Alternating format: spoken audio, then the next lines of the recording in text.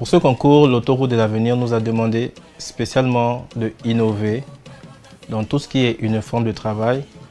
Le truc clé, c'était vraiment d'apporter la, tenue tradie moderne aux tenues de, travail, aux uniformes euh, quotidiens. Et on a donc utilisé le pain tissé sénégalais pour déjà mettre son avant. Mais vraiment le challenge, ça a été de pouvoir apporter le côté tradit moderne du vêtement sénégalais. Je ne me suis pas présenté. Moi, c'est Ramzi, fashion designer. Et je suis d'origine gabonaise. Attention. Mais je vis au Sénégal. Je vis au Sénégal depuis déjà 10 ans. Donc, je suis venu à la base pour faire mes études. J'ai eu une formation en gestion d'entreprise. Je me suis spécialisé en marketing. Et après, j'ai décidé finalement de me consacrer à une de mes passions, la mode. Et euh, donc depuis 2015, je me suis totalement consacré à ça. La mode au Sénégal, c'est une mode ouverte. C'est une mode ouverte à l'innovation. C'est une mode qui bouge tout le temps. Ce domaine-là a vraiment des, opportunités. Et ben, la preuve, c'est qu'on est de plus en plus présent sur la scène internationale.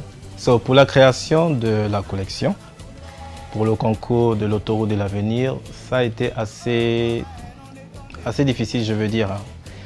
Au début, je pensais que c'était vraiment quelque chose de facile à faire parce qu'on avait déjà une direction, donc euh, un mot de bord qui nous avait été fourni. Mais il a fallu que je puisse faire des recherches déjà sur l'entreprise concernée. Il a fallu que je puisse faire les, les recherches surtout sur la touche africaine. Donc ça, ça a été le plus gros challenge pour moi de faire vraiment toute cette recherche sur le côté tradit moderne, purement sénégalais, de réadapter aux, tenues habituelles de, travail. J'ai participé au concours de l'autoroute de l'avenir pour la première raison, c'est vraiment le choix, le choix des designers. Le fait qu'on m'ait choisi moi parmi d'autres designers.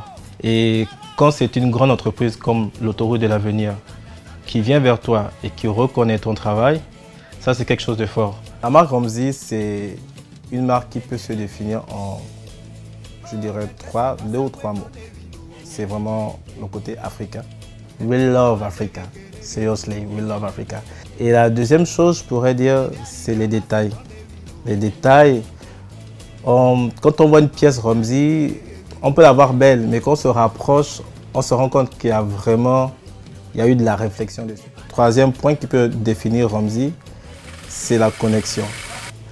On, est une marque qui veut vraiment prôner ce sentiment d'appartenance. Et je pense que lorsqu'on va voir les employés de l'autoroute de l'avenir avec leur nouvelle tenue de travail, wow, ça va faire un truc.